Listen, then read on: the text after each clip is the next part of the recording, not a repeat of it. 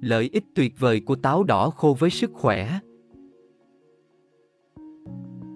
Một, cung cấp chất chống oxy hóa, vitamin C chống lại bệnh tật, bởi chứa nhiều chất chống oxy hóa và vitamin C, táo tàu còn có tác dụng chống lại các gốc tự do.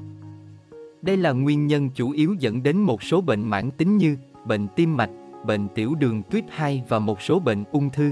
Ăn táo đỏ không chỉ có khả năng ngăn ngừa các căn bệnh mãn tính.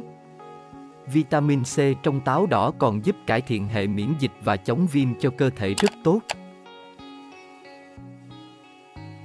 2. Hỗ trợ trị táo bón. Trong táo đỏ có rất nhiều chất xơ, giúp cải thiện hệ tiêu hóa bằng cách làm cho thức ăn đi qua đường tiêu hóa mềm hơn và ngăn ngừa táo bón. Chiết xuất từ táo đỏ khô được chứng minh giúp tăng cường sức khỏe niêm mạc dạ dày và ruột.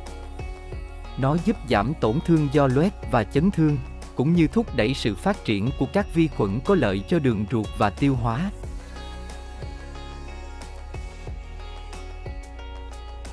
ba Ăn táo đỏ tốt cho xương khớp người cao tuổi. Ăn táo đỏ khô có tác dụng gì đặc biệt cho người cao tuổi? Ngoài việc chăm sóc tim mạch, điều hòa huyết áp, thì táo đỏ còn có tác dụng tuyệt vời trong việc chăm sóc và bảo vệ xương khớp của người cao tuổi. Nó chứa đầy đủ các thành phần quan trọng như canxi, phốt phô, sắt và nhiều chất khoáng khác, giúp tăng cường độ chắc khỏe và độ dẻo dai của xương, làm chậm quá trình lão hóa và giảm thiểu nguy cơ bị loãng xương. 4. Hỗ trợ người bệnh thận, sử dụng một lượng táo tàu vừa phải mỗi ngày giúp hạn chế nguy cơ tổn thương của thận. Ngoài ra, chiết xuất của táo tàu cũng có thể cải thiện được chức năng thận do giảm nồng độ creatine và ure.